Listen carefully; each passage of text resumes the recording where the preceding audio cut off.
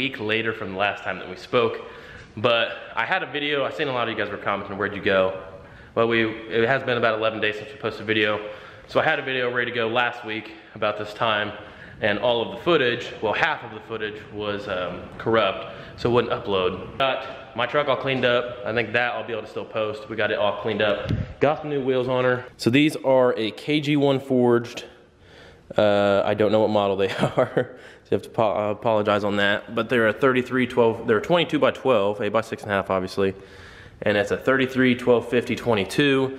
Venom, Terra Hunter. I had these same tires on my white uh, 24 valve that we had a while ago, guys. The second gen six speed. And I do like these tires a lot. I was able to pick these up used, and I think I got a pretty good deal on them. The gentleman I got them from was just going with a different tire. He didn't want to run these. So I love these, the way they look on here. They're still practical enough. I can tow on them. I can uh, turn full lock and it will not rub anywhere on the truck. And they have a little bit of stance. It looks good coming down the road. So I just wanted to show you guys those. Coming down the road looks pretty mean. And obviously, as you guys can see, we got this thing all cleaned up finally. I had to drive it in some of this salt, but we got it all detailed up, looking flossy. So, without further ado, let's talk about some of these parts we have over here for Truckmaster's P-Pump 24 valve. So I got the head all put back on Josh's truck and got it running. Um, we haven't even filled it up with coolant yet because I've noticed that we're getting a lot of smoke out of the turbochargers.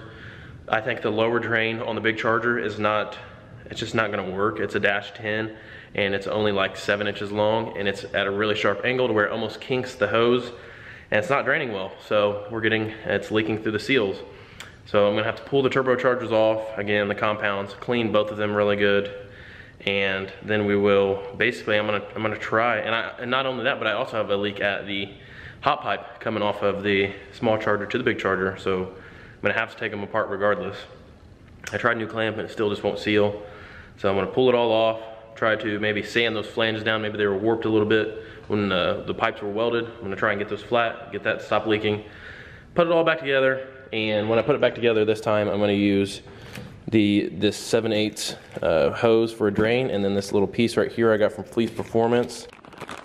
So guys, the Dash 10 on these S400s, I mean sometimes you can get lucky and it'll work. I got lucky on my last compound setup that I made custom and it worked, but it was also a side-by-side -side kit and it was way up high. So I was able to get by with the Dash 10, but we are gonna be running a 7 8 hose on this one. So I got this from Fleece Performance.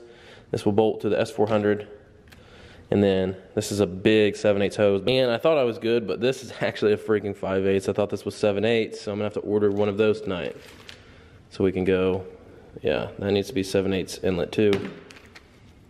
Wow, that sucks. So I gotta order that.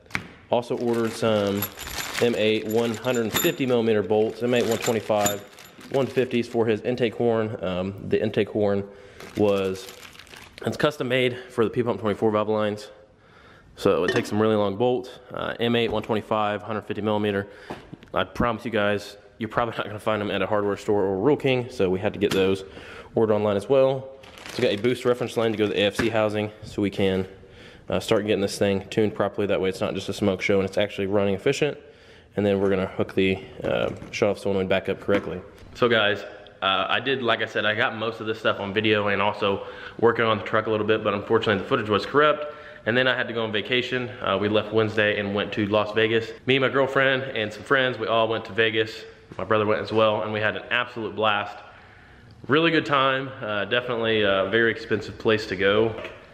Eating, like everything about Vegas is super expensive, but it was a good time, and I think we'll definitely go back maybe in a year or two. Um, but that's where we were, guys. It was in Las Vegas, so that's why there's this 11 day gap. I had corrupt footage, and then we were on vacation. But we are back now, guys. We're gonna be getting back into the grind. But uh, we do have that dually I need to pull in in front of Josh's truck and get this fuel pump issue figured out on it. So we'll be pulling that thing in probably tomorrow night and starting doing some serious diag on that thing, figure out what it needs.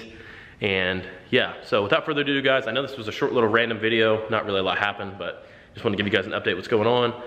Appreciate you guys. Be sure to like, subscribe. We'll see you guys on the next one.